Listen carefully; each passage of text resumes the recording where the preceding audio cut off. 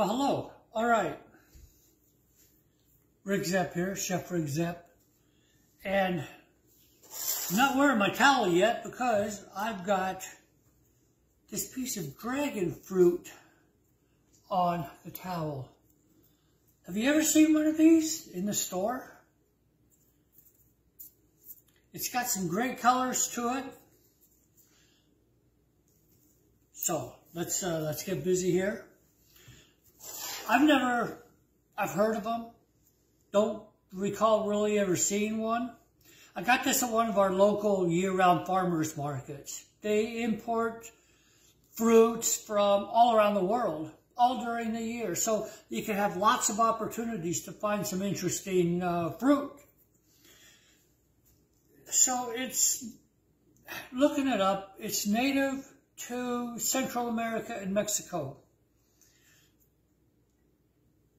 Bright orange, bright red skin with, uh, you know, leaves and all. That's why they call it a dragon fruit. It's supposed to look like a dragon. Me, I'm not too sure.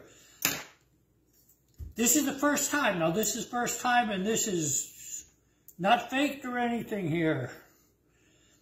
Got a good sharp knife. And we're just going to cut it in. It's supposed to either be white flesh or yellow or maybe sometimes red. Let's see what color this one is. And we're going to see how hard it is to cut too. Oh, easy, easy, easy peasy. Yeah, I'm surprised. Okay, this is kind of a dark white. I believe it's fresh, uh, it's ripe because, you know, it's kind of soft, gives, that's the quality of it. I'm going to set that aside. Let's take off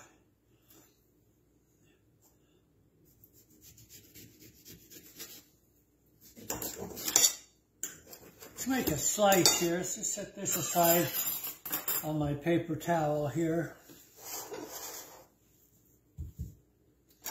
I'm going to just cut some, oh, it cuts the, the flesh, cuts real easy. It's supposed to have a taste between a kiwi and a pear and a watermelon. Let's just take a, take a taste right here. Almost live, but unedited.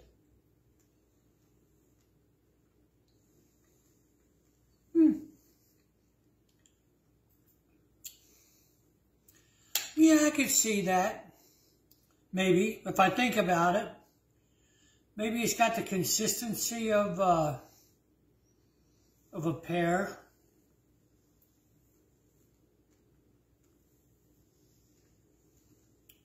Hmm. Not sure what else. It, to me, it kind of like you're eating Tastes like you're eating the grass outside in the yard. Not that I do that all the time, but that's, uh, you know, you could, you could figure.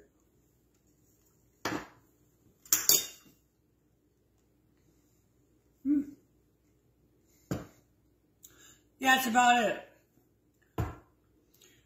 Different things you can do with it. You can dice it up, put it in a salad. You can make a smoothie out of it, add banana, pineapple into a blender, make a smoothie out of it, a little protein powder.